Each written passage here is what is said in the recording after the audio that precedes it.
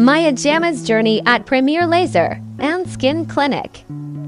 Hi everyone, I am just about to get mesotherapy, which is a skin cocktail that's going to make me look like a juicy baby.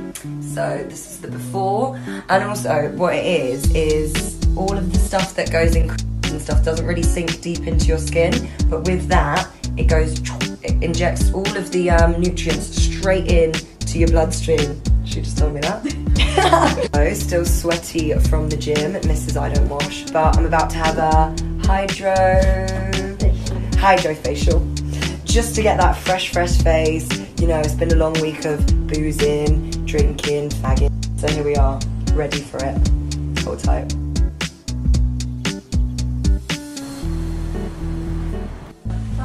Bye. When you live near the clinic, so you go home with the mask on. Lova's looking like I'm a madman.